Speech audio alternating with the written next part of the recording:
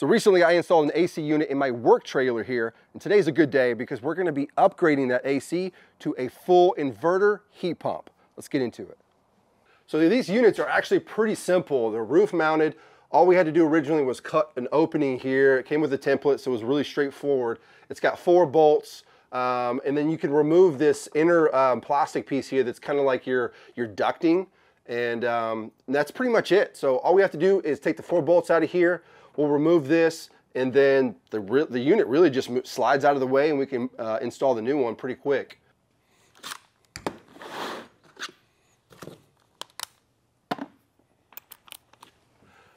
And this one actually has worked pretty well. Uh, we're getting into the heating season now, so we haven't really needed to use the electric heat, but it's nice to know that um, we're gonna have the heat pump version now. So it's gonna draw a lot less power uh, for one, but for two, it being inverter based, the capacity can vary depending on the load, right? So that way it's not always running at, I think this is like a 14,000 BTU. It's not always running at 14,000.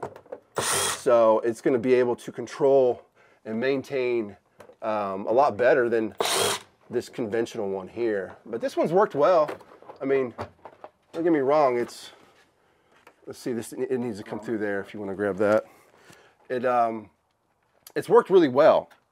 It's an install trailer. It's not something that we're using for normal comfort like if you're camping out of it or anything like that but um if you were, it would be it would be great for that situation as well. We actually use this trailer for multiple things. Um, we go camping, we have dirt bikes. That's why I have all this e-channel stuff in here to where I can bring my dirt bikes in here and uh, strap them down. And then typically we would sleep up here in the front. And uh, I mean, having this thing is just great.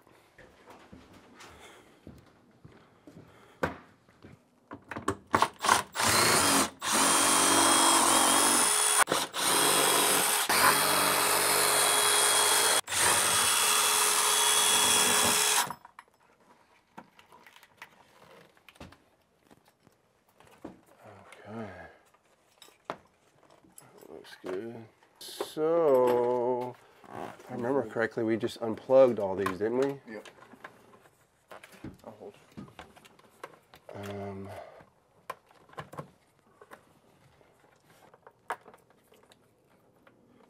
that one's taped up.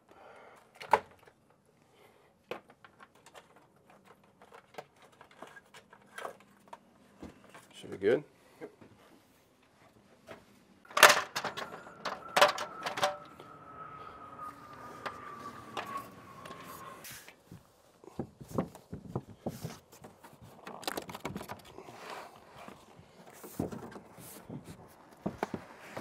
see if I can grab. Ready? Yep.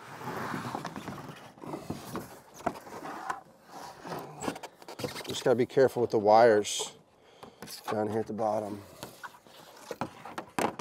All right. Let me, let me get on down.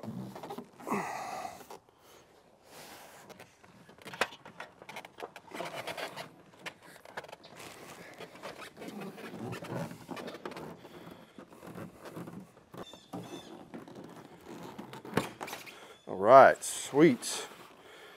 Let's get this thing taken apart and take this pigtail off.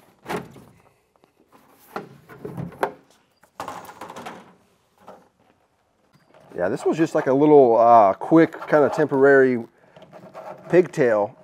Um, and we would just run an extension cord wherever we were, what job site we were on, and just to plug it in. It was just quick and easy. Instead of trying to do some kind of permanent wiring on the trailer, this just worked out well.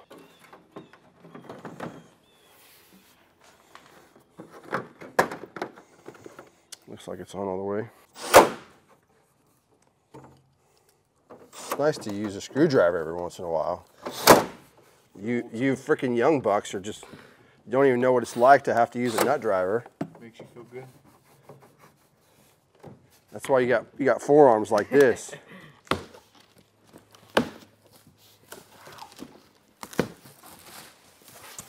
Ooh, this one's black. It's like a matte black finish. That is nice.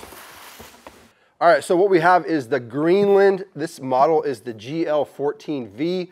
So that I guess stands for 14,000 BTUs in variable speed. Again, it is a heat pump. It's inverter based, which means it can vary its capacity.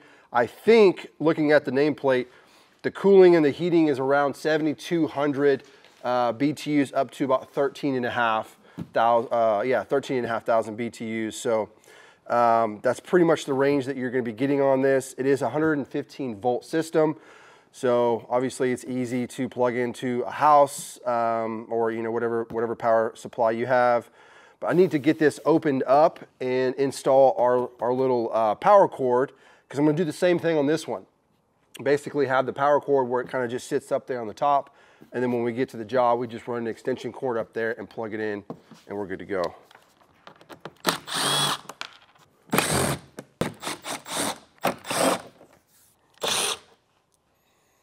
Be it. Should be able to pull this lid off. What was that? Okay. Looks like it just goes into these grooves. Yeah. Maybe like a little muffler. something. I'm not sure. I don't know if that's on the suction side or the discharge, but dude, this is cool. Little reversing valve. Yep. Little baby reversing valve. Yes. Obviously, this is the control board section for the compressor over here. Yeah, I think we Got had to do- sensors or thermistors on the pipes. Dude, I bet this thing is gonna purr once we get it up there. Variable speed, you said. Yep, Yeah. sure enough is. All right, so we got to figure out how we're gonna get power with that pigtail. Um, I was looking to see. It's got, so this is the main control board. Let's get this thing turned here. And our holes in here, right? Well, Yeah. that was different on the other one. I don't think we're going to have to do that because um, the the way where the power came in, I believe. we had to go. We had to go in because there was that. I think so. Pulled out that um, little plate. I think so. I don't know. Almost forgot about the indoor unit section for this unit here. So I'm pretty sure that's where our instruction manual is going to be. Not that we need it because, you know, we're professionals. But, you know, still good to humor yourself every once in a while, right? make sure. At least we, we want to make sure they're there for other people. See? Told you. They're there. Because this gives you everything you need to do the install on the inside. It is where your power goes into, right? This just has connectors down there that connect to um, this part of the unit.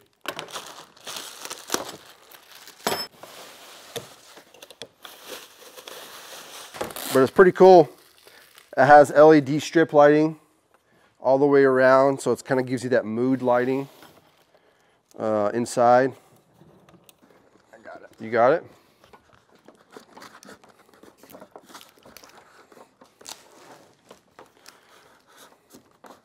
Now, this is probably not the ideal way to do this, but for our purposes, this works just fine.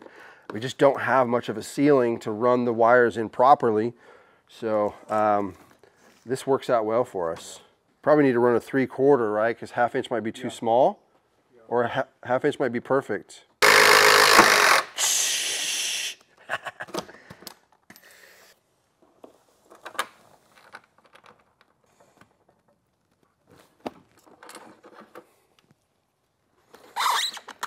Much as you need. Good?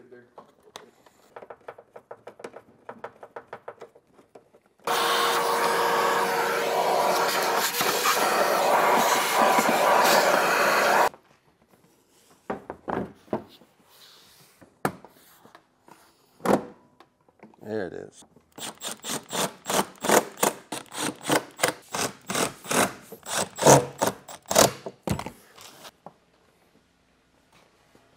Set it up on top of the trailer. If you could just grab it and slide the back. Ready?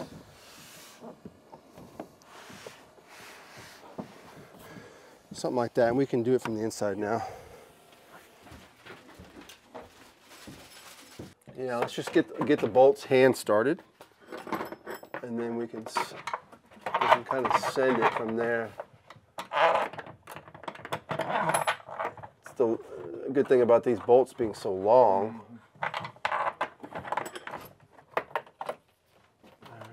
This one goes into there.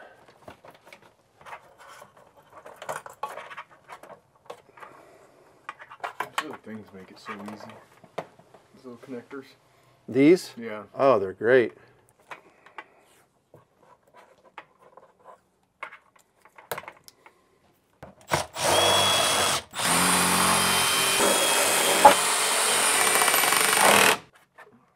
There it is. All right. Oh. Sounds like two snaps to me. Three. We're working with a very flimsy ceiling, so it's not very uh, super strong, and um, which I don't care for. But I don't, I don't want to have to redo this whole ceiling, structural wise, just for this. So.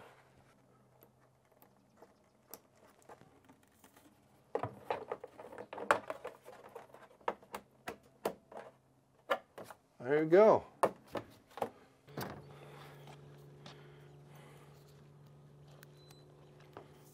Beeping.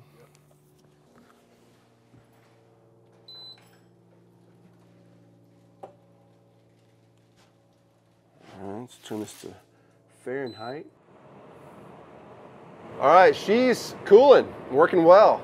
That's pretty much it with these units, man. They're super easy to install. Obviously, we already had the hole cut um, from the previous one, so it made it even faster. But as you can tell, I mean, even the indoor fan function is is quiet. It's not super duper loud. Um, so if you're in here sleeping, that wouldn't be um, obnoxious or you know keeping you awake up at night or anything like that. I think it's I think it's nice and quiet. So um, you don't hear the loud compressor. It's much quieter as well. So this thing's awesome. Turbro did an awesome uh, job on this inverter. Easy to install. They're quiet. Um, we're gonna enjoy this thing in the winter months because we come in here, we might need to bend metal or you know get things ready for you know a job, and we could be in, the heat while doing that, or just taking a break, eating our lunch, whatever, whatever we need to use it for. Just having that as a functionality or as an option, it's gonna be pretty awesome.